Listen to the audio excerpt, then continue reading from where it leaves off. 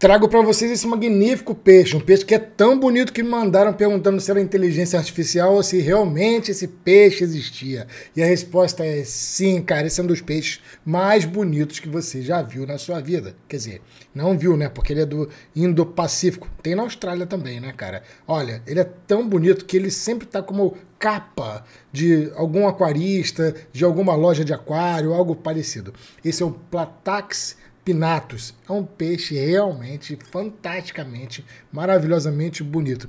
Ah, e ele é muito difícil de se manter em aquário, tá? Apesar da galera do aquarismo adorar, é muito complexo, até porque parte da fase da vida dele é no mangue e outra parte vai ser no ambiente marinho. Então tem que trabalhar, sabe, essa variação. Isso não é para qualquer um que mexe com aquário, não. Somente para os mais especialistas, tá? Eu não vi para venda dele no Brasil. Não, não acredito que não venda. Pode, pode ser que tenha. Mas é peixe difícil de se manter, sabe? E eu não sei também se é legal pelo Ibama. Tem que ver tudo isso aí. Porém, sem sombra de dúvida nenhuma, é um dos peixes mais belos que você vai ver.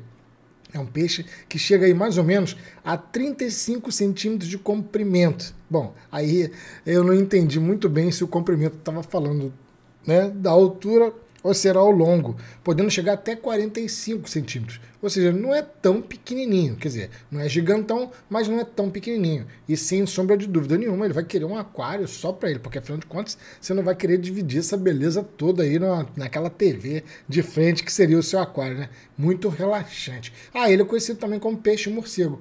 E não para por aí não, ele gosta muito de comer zooplâncton. Isso inclui aí é, também aquelas água-vivas, etc. Ah, uma algazinha de vez em quando também cai bem. É um peixe que é solitário, mas pode se unir para atravessar um coral ou outro. Ah, e vira e mexe, eles também são pescados e a carne dele é considerada saborosa porém não é valorizada. Eu acho que numa peixaria, o cara que olha um peixe desse pensa, cara, eu não vou comer esse peixinho não, cara, é muito fofinho, é muito bonitinho, deve ser algo assim.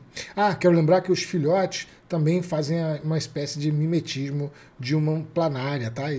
Utiliza essa coloração aí e esse movimento lateral muito interessante para fazer esse mimetismo. Agora, seja sincero, é ou não é o peixe mais bonito que você já viu?